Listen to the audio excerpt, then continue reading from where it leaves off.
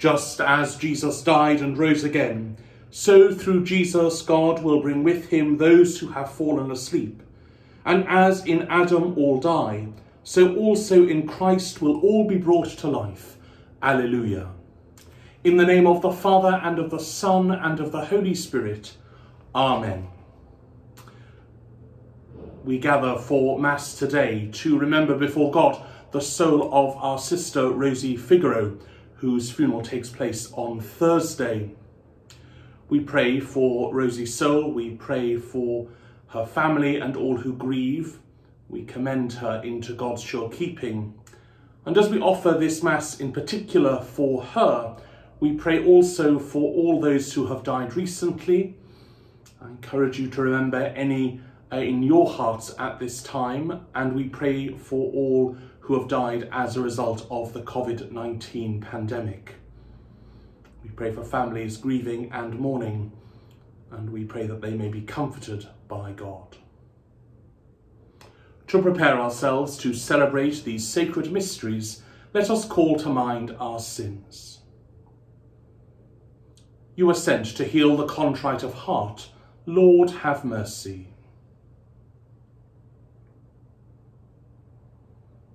You came to call sinners. Christ, have mercy. You are seated at the right hand of the Father to intercede for us. Lord, have mercy. May Almighty God have mercy on us, forgive us our sins, and bring us to everlasting life. Amen. Let us pray. Listen kindly to our prayers, O Lord, as our faith in your Son raised from the dead is deepened. May our hope of resurrection for your departed servant Rosie also find new strength through our Lord Jesus Christ, your Son, who lives and reigns with you in the unity of the Holy Spirit, one God, for ever and ever. Amen. A reading from the book of the Apocalypse. I, John, heard a voice from heaven say to me, Write down, Happy are those who die in the Lord. Happy indeed, the Spirit says. Now they can rest forever after their work, since their good deeds go with them. The word of the Lord. Out of the depths I cry to you, O Lord. Out of the depths I cry to you, O Lord. Lord, hear my voice. O let your ear be attentive to the voice of my pleading. Out of the depths I cry to you, O Lord. If you, Lord, should mark our guilt, who, Lord, would survive? But with you is found forgiveness. For this we revere you. Out of the depths I cry to you, O Lord. My soul is waiting for the Lord. I count on his word. My soul is longing for the Lord more than watchmen for daybreak. Out of the depths I cry to you, O Lord. Because with the Lord there is mercy and fullness of redemption. Israel indeed he will redeem from all its iniquity. Out of the depths I cry to you, O Lord.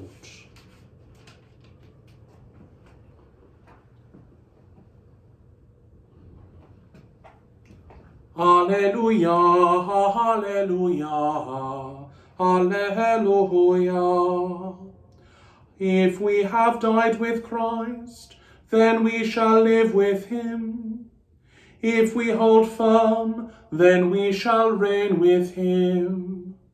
Alleluia, Alleluia, Alleluia. The Lord be with you. A reading from the Holy Gospel according to Mark. When the sixth hour came, there was darkness over the whole land until the ninth hour.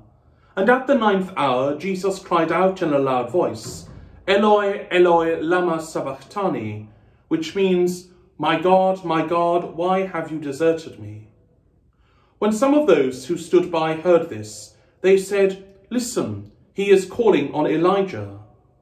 Someone ran and soaked a sponge in vinegar, and putting it on a reed, gave it to him to drink, saying, Wait and see if Elijah will come to take him down.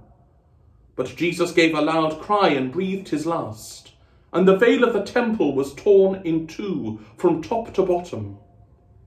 The centurion who was standing in front of him had seen how he had died, and he said, In truth, this man was a son of God.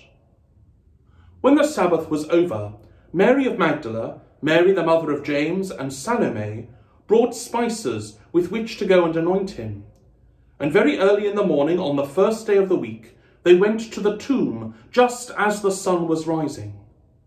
They had said, been saying to one another, Who will roll away the stone for us from the entrance to the tomb?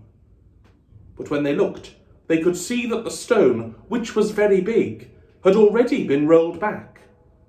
On entering the tomb, they saw a young man in a white robe seated on the right hand side, and they were struck with amazement. But he said to them, There is no need for alarm. You are looking for Jesus of Nazareth, who was crucified. He has risen. He is not here. See, here is the place where they laid him. The Gospel of the Lord.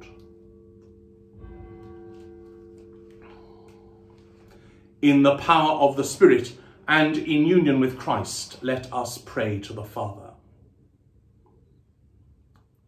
Father, we pray for the church throughout the world.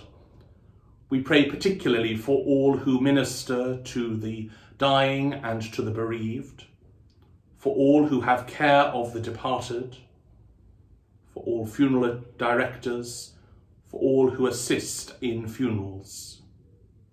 Lord, hear us. We pray for the sick, for all in our hospitals, hospices and care homes and for the housebound, for all affected by the COVID-19 pandemic, for all who serve in the National Health Service and as key workers. Lord, hear us. We pray for those who have died, for our own departed relations and friends, for all who have died as a result of the COVID-19 pandemic. For those who died in the Grenfell Tower fire.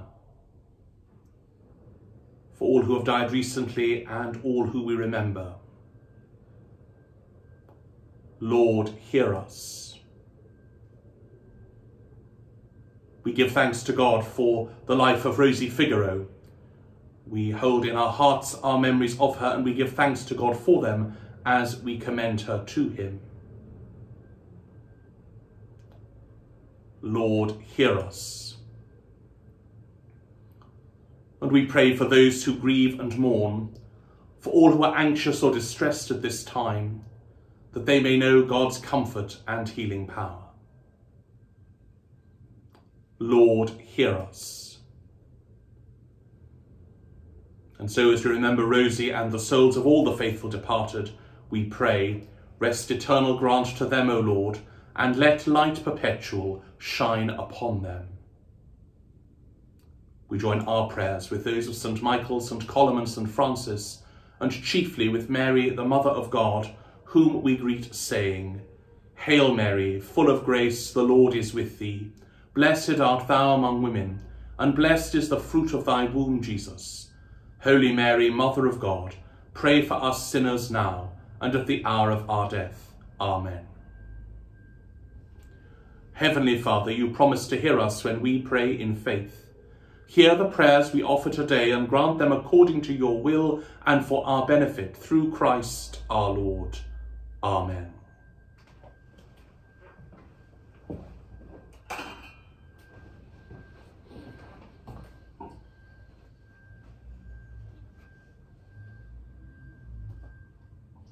Blessed are you, Lord God of all creation, for through your goodness we have received the bread we offer you, fruit of the earth and work of human hands. It will become for us the bread of life.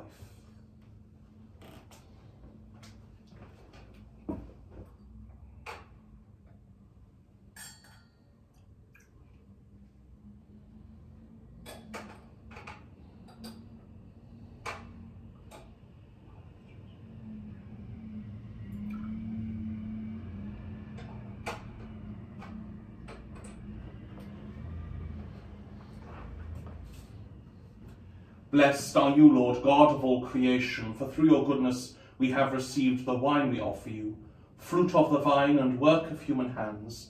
It will become our spiritual drink.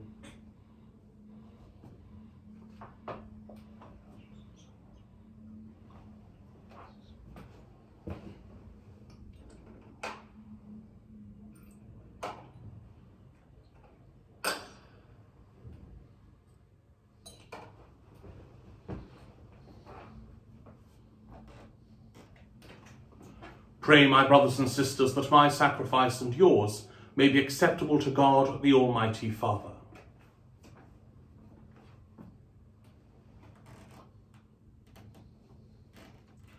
Look favourably on our offerings, O Lord, so that your departed servant Rosie may be taken up into glory with your Son, in whose great mystery of love we are all united, through Christ our Lord. Amen. The Lord be with you. Lift up your hearts. Let us give thanks to the Lord our God. It is truly right and just, our duty and our salvation, always and everywhere to give you thanks, Lord, Holy Father, Almighty and eternal God, through Christ our Lord. For he is the salvation of the world, the life of the human race, the resurrection of the dead. Through him the host of angels adores your majesty and rejoices in your presence forever. May our voices, we pray, join with theirs in one chorus of exultant praise as we acclaim. Holy, holy, holy Lord God of hosts, heaven and earth are full of your glory. Hosanna in the highest. Blessed is he who comes in the name of the Lord. Hosanna in the highest. You are indeed holy, O Lord, and all you have created rightly gives you praise. For through your Son, our Lord Jesus Christ, by the power and working of the Holy Spirit, you give life to all things and make them holy, and you never cease to gather a people to yourself, so that from the rising of the sun to its setting, a pure sacrifice may be offered to your name. Therefore, O Lord, we humbly implore you, by the same Spirit, graciously make holy these gifts we have brought to you for consecration, that they may become the body and blood of your Son, our Lord Jesus Christ, at whose command we celebrate these mysteries. For on the night he was betrayed, he himself took bread, and giving you thanks, he said the blessing, and broke the bread. He gave it to his disciples, saying, Take this, all of you, and eat of it. For this is my body, which will be given up for you.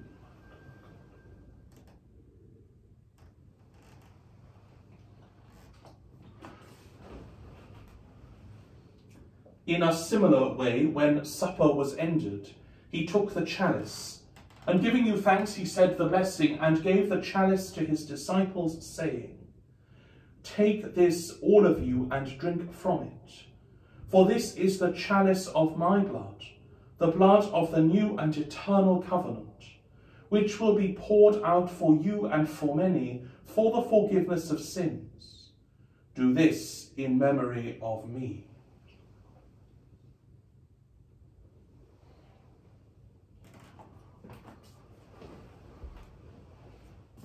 The mystery of faith we proclaim your death, O Lord, and profess your resurrection until you come again. Therefore, O Lord, as we celebrate the memorial of the saving passion of your Son, his wondrous resurrection and ascension into heaven, and as we look forward to his second coming, we offer you in thanksgiving this holy and living sacrifice. Look, we pray, upon the oblation of your church, and recognizing the sacrificial victim, by whose death you willed to reconcile us to yourself. Grant that we, who are nourished by the body and blood of your Son, and filled with his Holy Spirit, may become one body, one spirit in Christ. May he make of us an eternal offering to you, so that we may obtain an inheritance with your elect, especially with the most blessed Virgin Mary, Mother of God, with blessed Joseph, her spouse, with your blessed apostles and glorious martyrs, with St. Michael, St. Columb, St. Francis, and with all the saints on whose constant intercession in your presence we rely for unfailing help. May this sacrifice of our reconciliation, we pray, O Lord, advance the peace and salvation of all the world. Be pleased to confirm in faith and charity your pilgrim church on earth, with Jonathan our bishop, the order of bishops, all the clergy, and the entire people you have gained for your own. Listen graciously to the prayers of this family, whom you have summoned before you. In your compassion, O merciful Father, gather to yourself all your children scattered throughout the world. Remember your servant Rosie, whom you have called from this world to yourself. Grant that she, who was united with your Son in a death like his, may also be one with him in his resurrection, when from the earth he will raise up in the flesh those who have died, and transform our lowly body after the pattern of his own glorious body. To our departed brothers and sisters too, and to all who are pleasing to you at their passing from this life, give kind admittance to your kingdom. There we hope to enjoy for ever the fullness of your glory, when you will wipe away every tear from our eyes. For seeing you, our God, as you are, we shall be like you for all the ages, and praise you without end, through Christ our Lord, through whom you bestow on the world all that is good. Through him, and with him, and in him, O God Almighty Father, in the unity of the Holy Spirit, all glory and honour is yours, for ever and ever. Amen. At the Saviour's command, and formed by divine teaching, we dare to say, Our Father, who art in heaven, hallowed be thy name. Thy kingdom come, thy will be done on earth as it is in heaven. Give us this day our daily bread, and forgive us our trespasses, as we forgive those who trespass against us. And lead us not into temptation, but deliver us from evil.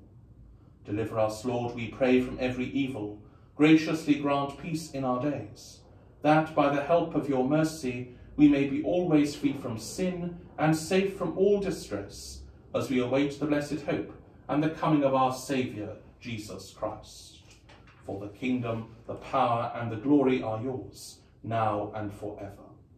Lord Jesus Christ, who said to your apostles, Peace I leave you, my peace I give you, look not on our sins, but on the faith of your church, and graciously grant her peace and unity in accordance with your will, who live and reign for ever and ever. Amen. The peace of the Lord be with you always.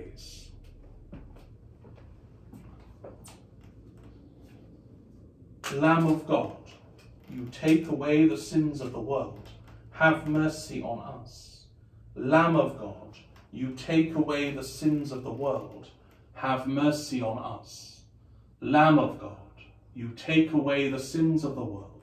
Grant us peace.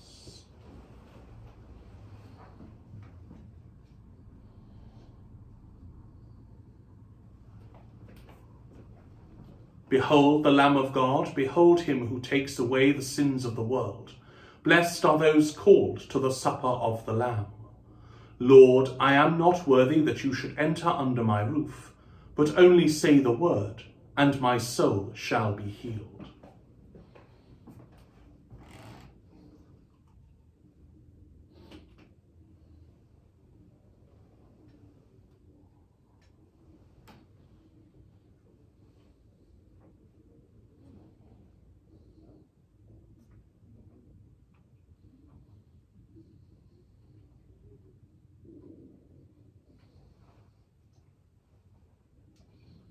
I am the resurrection and the life, says the Lord. Whoever believes in me, even though he dies, will live. And everyone who lives and believes in me will not die forever. Alleluia.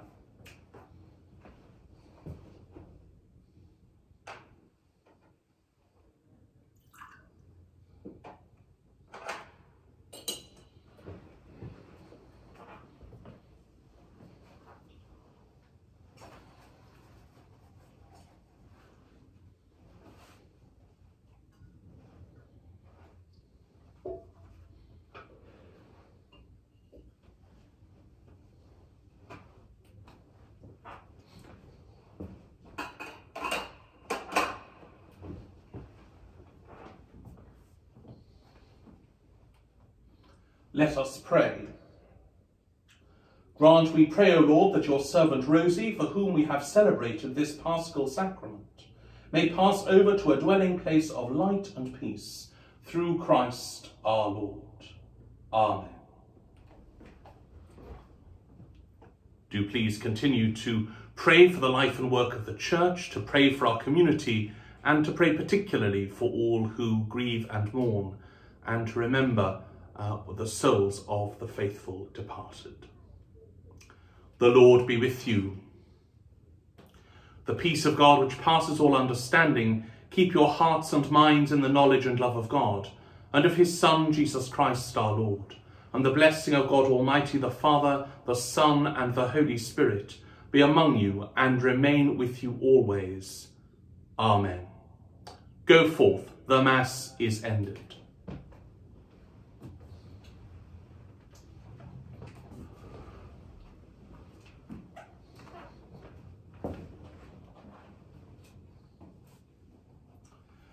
In a day of thanksgiving, one psalm let us offer for the saints who before us have found their reward. When the shadow of death fell upon them, we sorrowed, but now we rejoice that they rest in the Lord.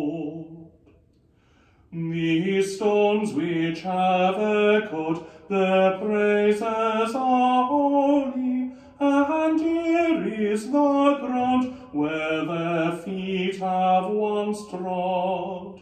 Yet here they confessed they were strangers and pilgrims, and still they were seeking the city of God. In the presence of Jesus, the saints are in glory, who have known him and loved him and served him below.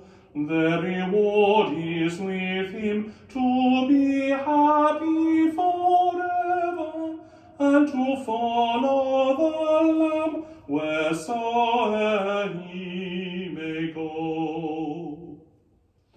Blessed saints in the presence of Jesus forever, be mindful of us who here struggle below.